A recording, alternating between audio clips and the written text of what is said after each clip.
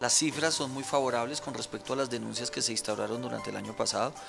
Logramos primero en el homicidio romper la barrera de los 200 homicidios. Llevamos 5 años donde el homicidio estaba por encima de la barrera de los 200 homicidios anuales. Logramos tener 197 con respecto a 202 del año pasado y generalmente el homicidio oscilaba entre 220 y 240 eh, personas fallecidas durante estos años, con una reducción importante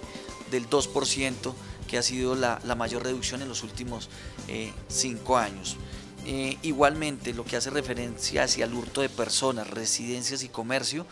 digamos, logramos una reducción global del menos 15% en estos tres fenómenos, siendo también una de las cifras, eh, digamos, más importantes en los, en los últimos cinco años logrando esta reducción significativa. El tema del microtráfico, coronel. Bueno, en el microtráfico nosotros hicimos una cruzada bastante fuerte donde logramos más de 113 allanamientos, la desarticulación de más de 11 estructuras dedicadas al tráfico estupefacientes, la incautación de más de 750 mil dosis en lo largo y ancho del departamento, eh, también más de 2 toneladas y media de estupefacientes que fueron incautadas, malas actividades de prevención creo que son unos buenos resultados con respecto a las metas que nos trazamos con el señor gobernador y con muchos de los alcaldes de los municipios. Por último, el tema de la línea 1, 2, 3 y la implementación de un plan piloto que dio resultados positivos. Bueno, este año con recursos de la gobernación logramos poner en funcionamiento toda nuestra plataforma de 123 donde permite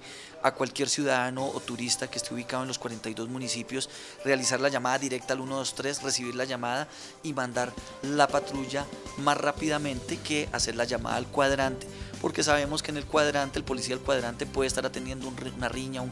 caso y empezamos a poner esta plataforma en funcionamiento donde recibimos un promedio casi de 2.000 llamadas diarias con una efectividad del 60% en horas diurnas y en horas nocturnas un porcentaje casi del 95%. Para el año entrante a partir,